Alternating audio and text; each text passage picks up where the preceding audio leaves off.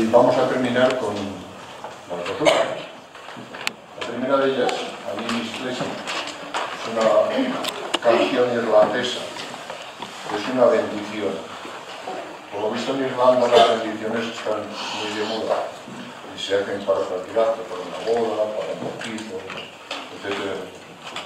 La que nosotros cantamos es una de autor anónimo, aunque se le atribuye a menos que al mismísimo San. Y la última, Come and Falling in Love. No puedo evitar enamorar, casi nada. Es una canción de género pop, compuesta en el año 1961, que interpretó Elvis Presley para la película Blue Hawaii. La canción le gustó tanto que la utilizaba siempre para terminar sus conciertos en